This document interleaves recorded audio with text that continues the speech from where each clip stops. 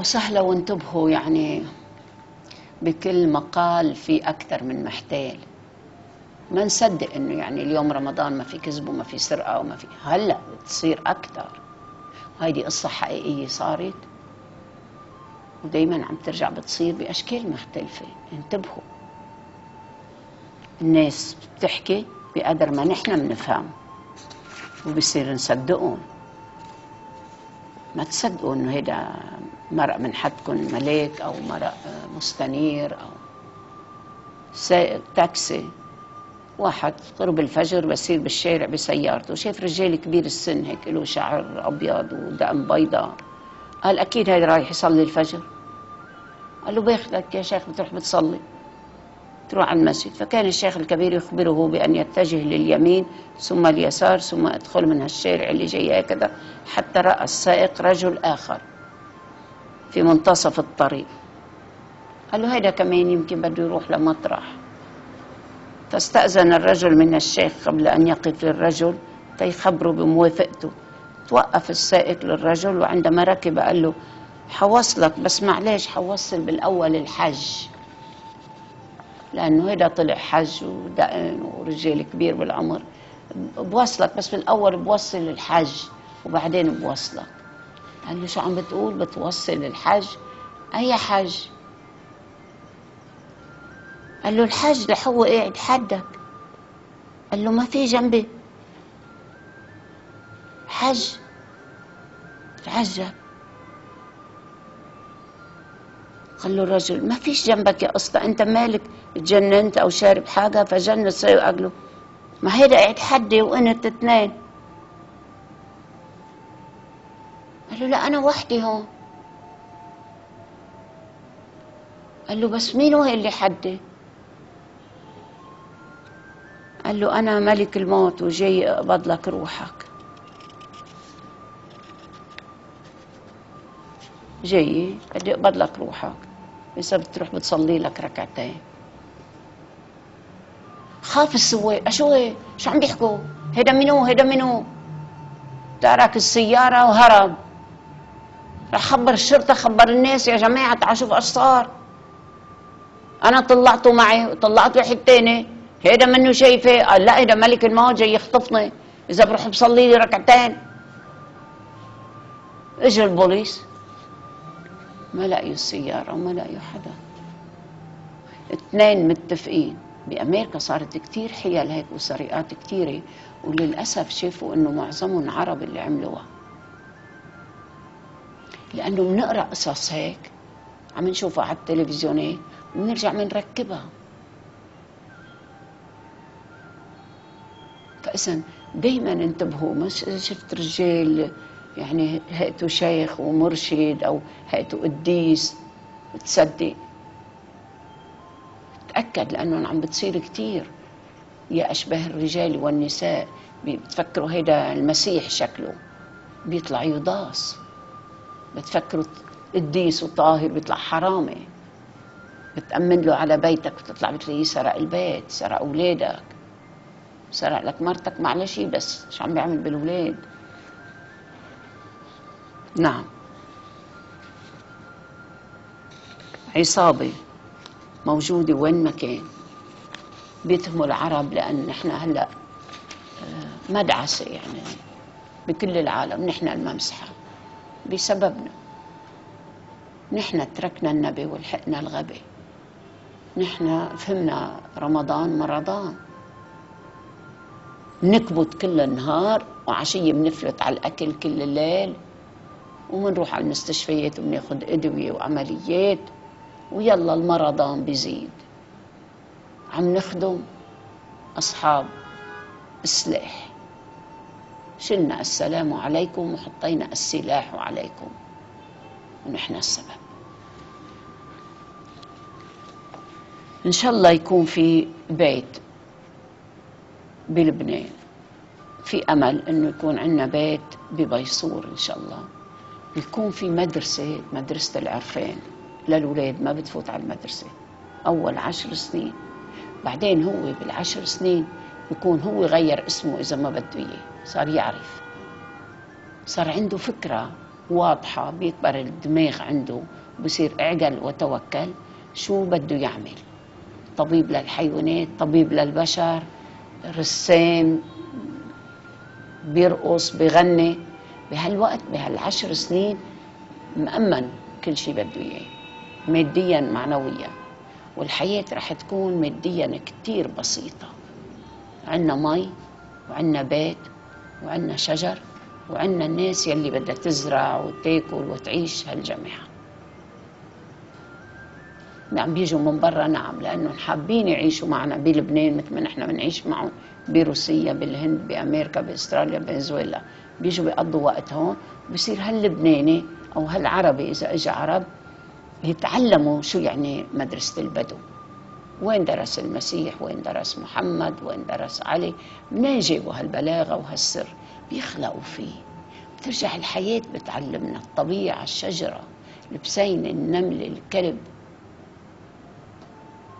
كل هالطبيعة بتعلمك لأنك ترجع بتتذكر أنا كنت هونيك. أنا كنت بمملكة المي. أنا كنت بمملكة النبات وبمملكة الحيوان وحط هالسر فيي أنا سيد كل هالكائنات وأنا خادم الحرمين.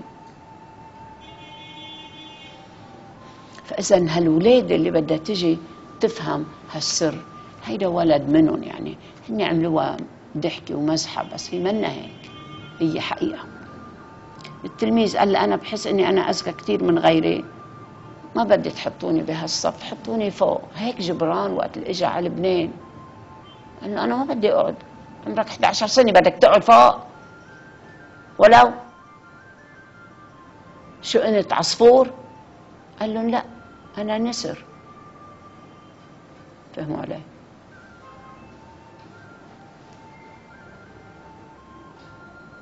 أنا كبير مني بالجسد يعني. وهيك جبران درس بمدرسة الحكمة اللغة العربية ورجع على أمريكا وعرف إنه ما له حياة بلبنان لأنه حط الحرية. وكتاب النبي لحد هلأ ممنوع يعني بأمة العرب. وهو إذا انشهر من وراء كتاب النبي كتاب المسيح الحقيقي دم السيا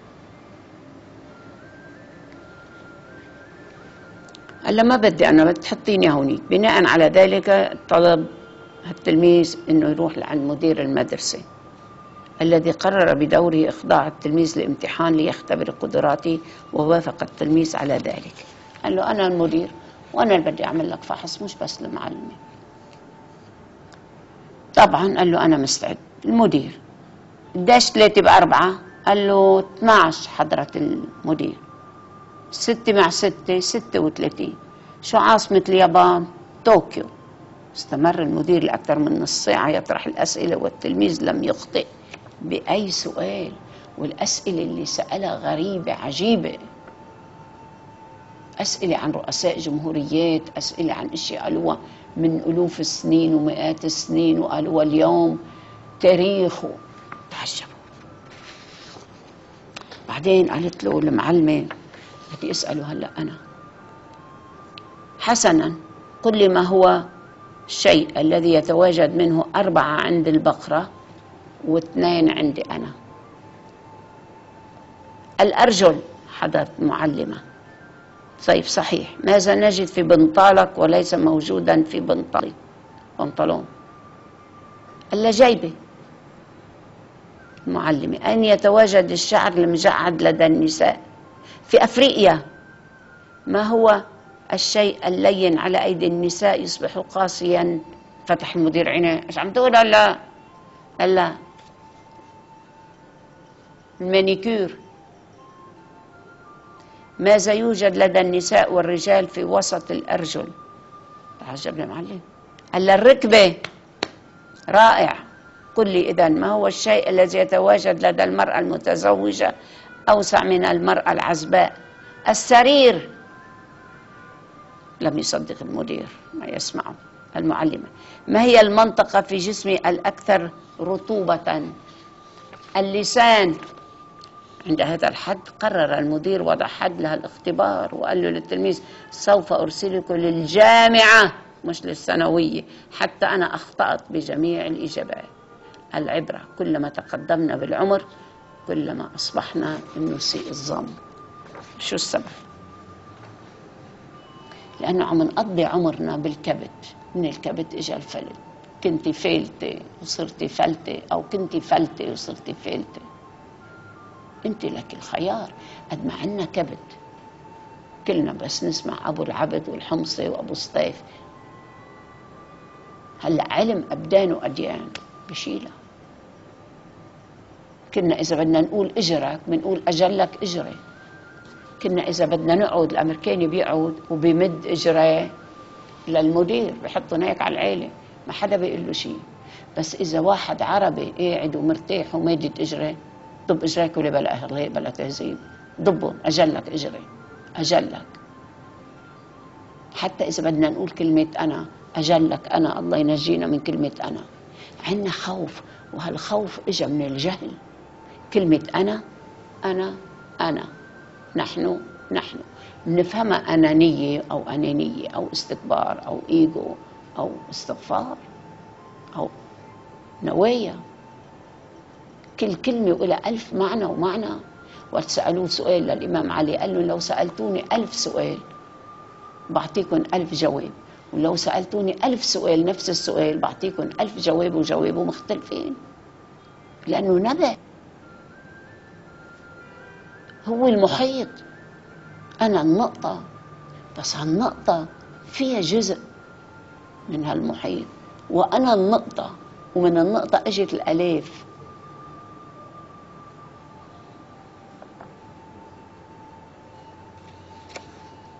كلنا عنا هالفكرة يلي دايما جد أفهم والختيار دايما أفهم ولكن ما تنسى أنه في ناس ختيارية وعجزة. وعاشوا كل حياتهم ما عندهم الفهم وعندهم العلم. قال له عمرك 80 سنة ومنك عايشون. وهذا عمره ثلاث سنين. بس يجوع بياكل بس ينعس بينام بس يتعب بيرتاح بس بيغفى وبس يعطش بيشرب المهم تعرفهم أو المهم تعيشون. هيدي عبرة وشو ما بدكم سموها آية عبرة ولكن هلأ في اجتماع عم بيشوفوا كيف فيني يعيشوها. ادفع بالتي هي أحسن. فإذا الذي بينه وبينك عداوة كأنه ولي حميم. المسيح قال أكرموا أبائك وبعدين أحبوا أعدائكم باركوا لاعنيكم كل مستنير بيقولها اليوم هيدا عدوة مثل الشمعة. هيدي بتحرق لي ايدي. بس إذا في عتمة بتضوي لي العتمة. بس بدي معلم بدي ام تقلي الطفل بس يجي يحط إيده هون بتتركه يقربها. بعدين رح اتركيه اتركيه يحترق بيعمل إيده هون. إذا ضربتيه بس ما تكوني رح يرجع يحط إصبعه. اتركيه خليه يقرب. كوني أنت حده. مامي إيه؟ مامي إذا قربت أكثر لا مشان هيك وقت بيشوف بيو عم بيدخن بيروح بيو بيترك السيجارة.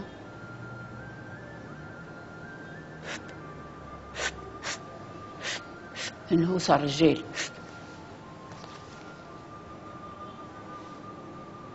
ابنها عمره تسع سنين. قالت له بس بدك تدخن قل لي ماما. قال لها تركتها من سنتين أنا بيي كان عنده أربع أولاد. يجي بيو أمي تعمل له هيك إنه اجى بيك يطفيها. إنه من باب بس شو عمل بهالاحترام؟ هيدا منه احترام هيدا جاي. قديش عم بتموت ناس هلا بسبب سرطان الدخان؟ بنكتب فيها سرطان خط صغير بس بنحط بنت يا لطيف كلها اغراءات وحاطة السيجارة.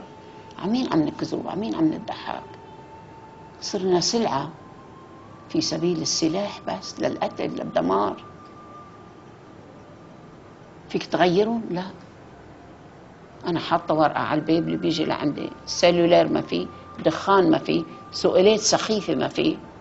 حركات وتقوم وتفوت طالع على الحمام ما في. بس واحد عم يحكي بتسكت انت سمع كلها صاروا يعرفوا. جايين تحضروا حضرة. مش عنده زيارة. عشان هيك بيعرف اللي بيجي لعندي مرة اثنين ثلاثة. بينكب ما بيعود. يبعث لي إيميل بكبه فيني أجي أدرس عندي؟ فيني أتعلم منك؟ أنا بحب كون من اتباعك ما بدي خواريف وأنا ماني راعي. أنا من الفان تبعك. إنه الجماهير هيدي كلها كلمات سخيفة ميتة. لأنك أنت ميت تحب تكون قطيع خروف. ماشي وراء الأعداد والجماهير والمشاهير. مشان هيك مجلاتنا العربية كلها منحطة ما في ولا مجلة. أو إذا بتحكي سياسة واقتصاد مثل حديث السياسيين ماشي ما فيك تقرأ. ولا أي عربية ولا أي كتاب ولا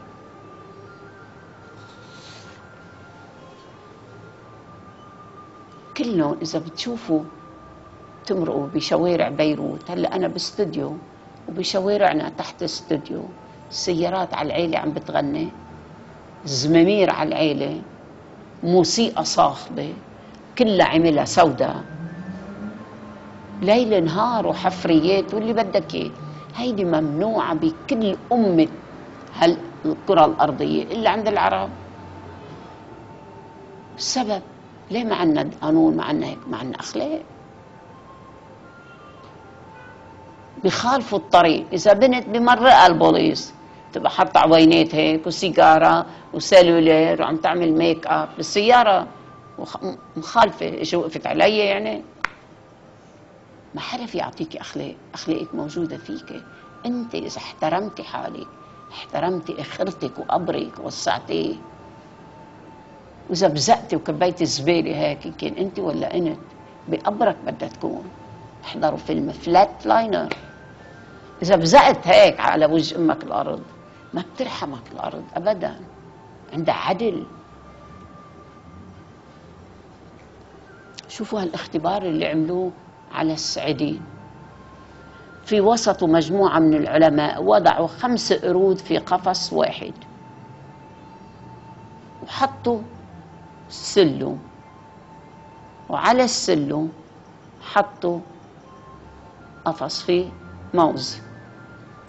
في كل مرة بيطلع أحد القرود تياخذ الموزة بيرش العلماء على باقي القرود مي معها طلع هيك ياخذ موز رشوا ميها. عها مش عليه هو. هلأ بنشوف إذا في تجاوب بين هالسعيدين مثل ما في تجاوب بين البشر. بعد فترة بسيطة أصبح كل القرد بيطلع تياخذ الموز بيقوم الباقيين بيمنعوه بيضربوه تي... يخي بنرش علينا مايك أنت طالع تاخذ موز. صار يقدروا يحكوا مع بعضهم بلغتهم. حسوا. تغير هديك شيء. طلع الثاني طلع الثالث طلع الرابع طلع الخامس. تناغموا مع بعضهم. اللي بيطلع من هون تياخذ ماز بدنا نرش علينا مي مسقعة هلا شو عملوا هالعلماء؟ شالوا كل هالقرود وجابوا قرود جديدة. طلع أول قرد صرخوا الأربعة. نزل شدوا فيه. هلا بيرش علينا مي إذا الطبيعة عم تتناغم مع بعضها نحن كمان. إذا واحد زمر هيك والتاني زت زبالة والتالت زت عن البلكون وهيداك عم بيدخن وهيدا عم بياخد خمرة ومخدرات وهيدا عم بيسرق وهيدا عم بيكذب وهيدا سياسة وهيدا عالم دين ورجل دين وهيدا بسببنا.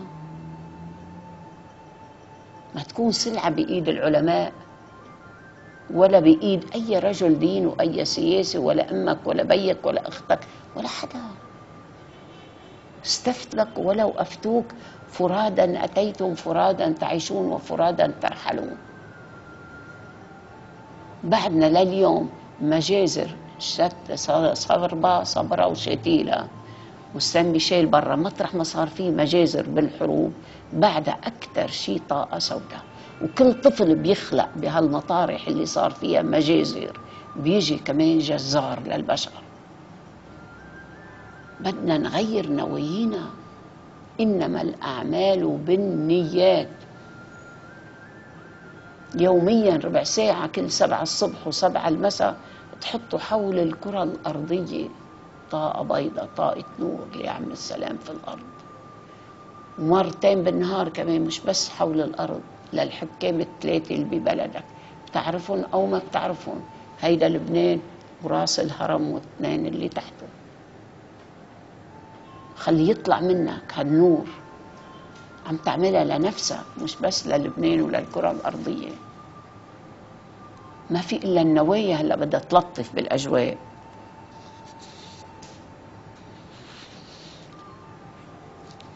نحن نملك القرار. إما أن نصبح قردة ويتم فينا يضربونا أو نبدأ بالصعود إلى السلم بالصمت.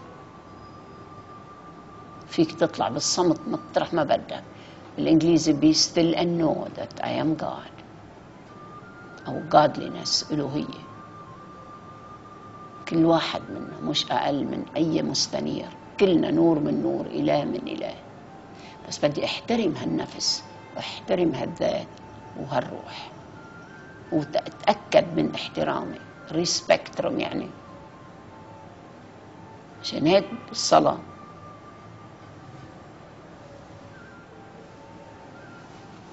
أكيد. سجود. بالمسيحية بتصلي بإيدك على وجهك. تفتح المقامات بتوقف على الميزان. صلبة. على الصليب. ما في تطرف هون وهون. ساعتها أي نية بتعملها بتتحقق. بس بدي أبلش أحترمها. وإذا احترمت نفسي احترمت كل نفس لأنه أنت أنا. ما بسكت عن حقي لأنه هذا حقك كمان.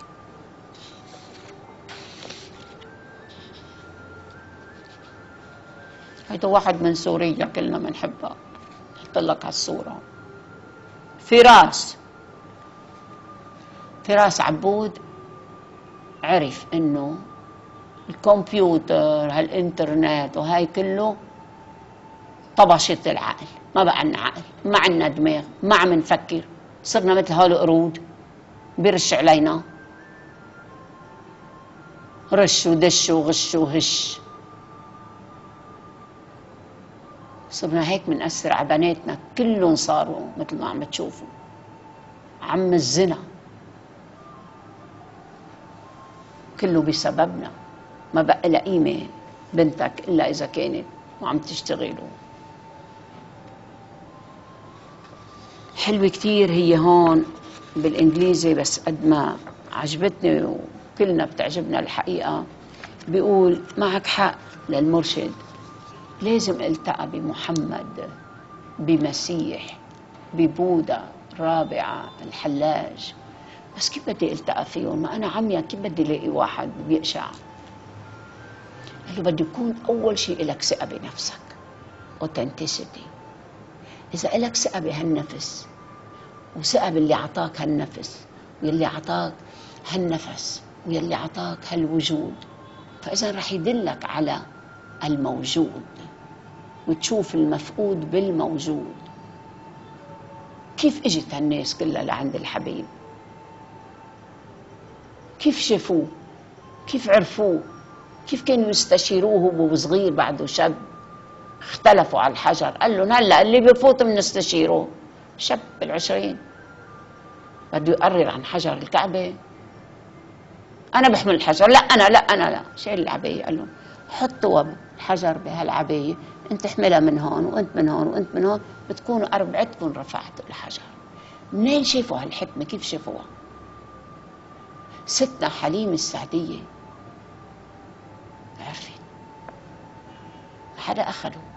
حليم السعدية فقيرة وجوزها فلاح قالت له في شيء بدي أقول لك اياه قال لها جوزها انتبه ما تمد إيدك على الولد. عنده سر كبير. كيف قدروا يشوفوه؟ نعم. شافوا أسرار فيه راهب بحيرة. قال له مين معك؟ قال له ابن خيي قال له لا هي مش ولد صغير. انتبه عليه من اليهود.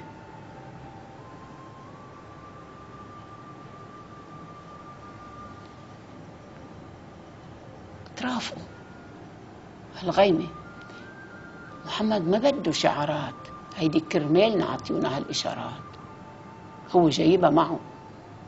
مش بس بجسده وبأفكاره. عم بترافقوا هالغيوم وهالناس وحكيوا عنه قبل وبعد. تيقول لك إنه ما أنا إلا بشر مثلكم وانت مثلي وأكثر فإذا من 2000 سنة لليوم ما في مسيح من 1600 سنة لليوم ما في محمد ما في علي ما في. إجوا مستنيرين سميناهم صوفيين أو مستنير أو رابعة أو الحلاج.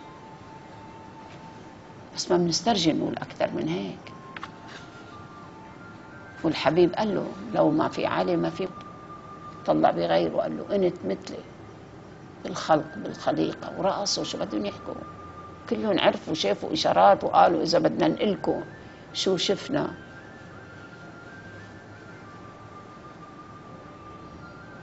قالوا القليل وشافوا القليل والكثير وشوفوا دعاء الطائف يعني. فإذا بدك تعرف أنت يا الله only untrust. إذا ما إلك ثقة ما رح تتعرف على أي مرشد. بس إذا لك ثقة بنفسك لك ثقة إنه الله بده يعطيك مرشد تتعرف عليه. أنا هالقليل اللي بعرفه هل أنا الصغير اللي فيي والكبيرة بعرفه من أول ما قال لي الطبيب أنت مثل أمك. بتعيشي جمعة اثنين أو بتموتي. إذا ما عملت لك عملية تنين جمعة السبت بتموتي. وأنا كان عمري 17 سنة. خدت أمي لعند الطبيب وهيك قال لها عملت عملية الخميس تاني سبت كنت بالقبر. ورجعت أنا الحمارة مع احترامنا دايما للحمار رحت لعند نفس الطبيب. قلت له بدي أقول لك سر اللي أنت مثل أمك قلت له هاي ورمة هيك مثل امي قال لي إيه والرئة مضروبة. قال لي بيي انت مثل أمك عملية بسرعة. هيك اجى فكر قال لي شو هالله هيك قلت له إذا كنت موجود يعني كيف تاخذني أنا 32 أمي 47 أمها 62 عائلة أمي كلهم سرطان. شو السبب؟ هذا من الله؟ لا مش من الله. قلت له لبي أنا لا أنت بي ولا أمي أمي. ما بدي إياكم في شيء تاني. وقت بتكون حاضر بتحضر الحضرة. تعشيت عند رجل دين راهب أنطوني. قال لي بك شيء قلت له إيه؟ أخذني تاني يوم. جبت كتاب. ومن وقت الكتاب خير جليس